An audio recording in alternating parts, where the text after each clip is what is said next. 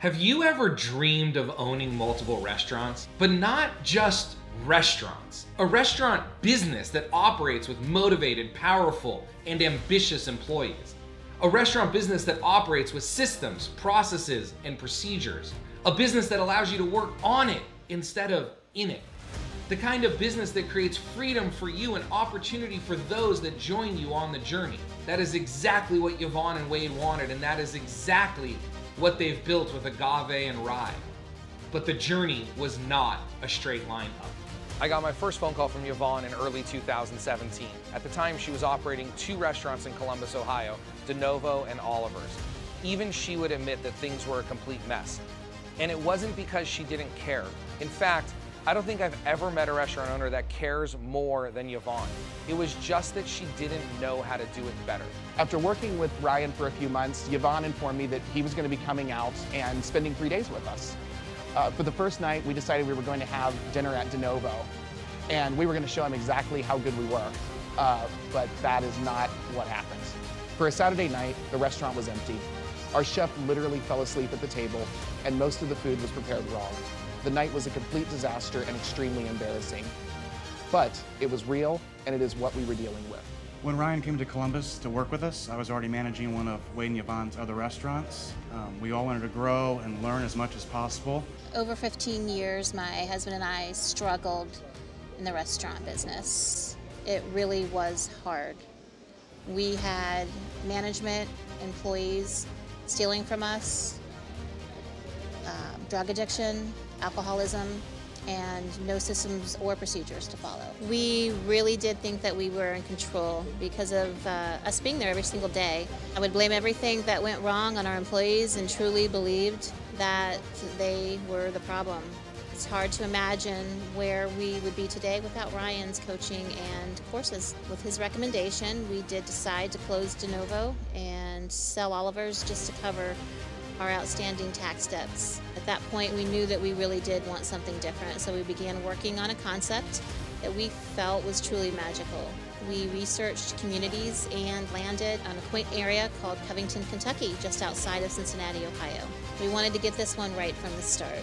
With his help, we uh, literally had a truck full of restaurant furniture, a uh, credit card funding advance, side note, don't recommend that, and very little cash. Ryan, Wade, and uh, myself created Agave and Rye. We thought about every detail from the start who was our target guest, what price point that they wanted, what they wanted to drink, what music did they want to listen to, and what menu items would really speak to them. Where did they hang out in the community? Everything was done with intention. We did have some great systems to start, before we opened our doors, but then more were written every single day. Day one was madness. We were busy from the moment we opened the doors. Sure, we had our challenges to overcome, but we had systems in place to ensure that our team was creating epic experiences for our guests.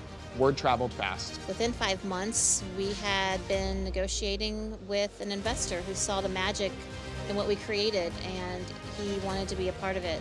After the sale, I stayed at Oliver's with the new owners, but eventually rejoined the team here at Agave and Rye in time to help open up their second location.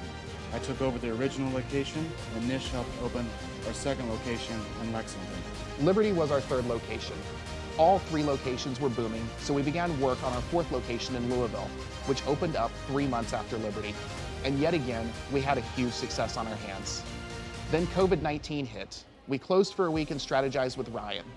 Sure, it's been a struggle, but we were ready for this. We're ready for anything. It's been a wild ride, but we never buried our heads in the sand. We got to work and got creative.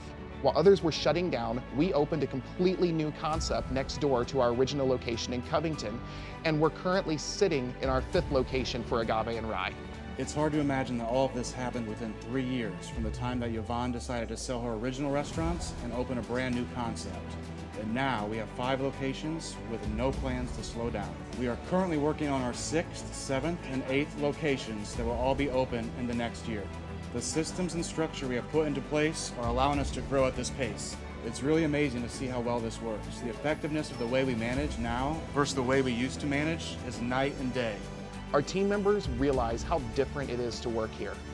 We see it every day in their eyes and the smiles on their faces. We see it with our guests and in the media too. It's hard to put a finger on exactly what it is, but they know we are different from other restaurants. They know we care more. We say that we are creating a love brand, a brand that loves our guests, our team members, our vendors, and our community. Before working with Ryan, we were drowning. Drowning in debt, drowning in sadness, drowning in fear, drowning in the hours that we were putting in every single day, and we just didn't see the results. Before Ryan, we didn't understand the power of systems. We didn't understand the power of accountability. Systems and procedures are what allow me to manage my GMs so they can manage their teams so our staff can do their jobs at exceptional or what we like to call epic levels. Systems are what has allowed me to manage our store openings at such a fast pace, ensuring they are epic events that exceed our guest expectations. I worked with Yavonne and Wade in the original de novo over 10 years ago. We were really onto something. It's amazing to see what they have built in less than three years. I am honored to be back on the team as a corporate chef for Agave and Rye and excited about what the future holds for everybody. Ryan taught us those systems, and believe me, those systems are why we are living our dream. And we're having so much fun doing it. Just look around. We get to work with a dream team of people to create fun, new menu items and experiences for our guests to enjoy every day. Five restaurants in less than three years. My name is Ryan Gromfin, and I help restaurant owners scale their business.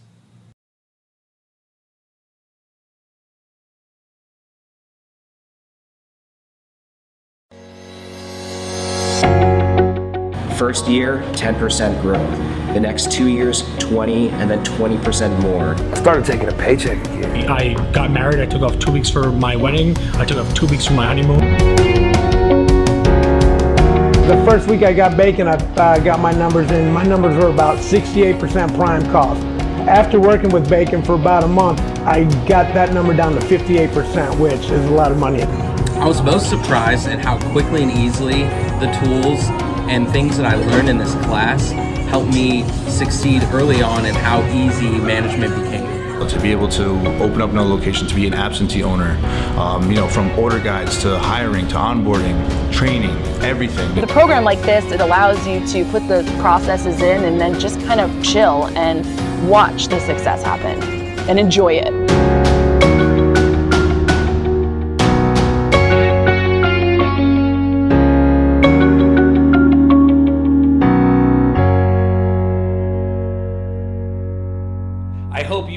This week's training video.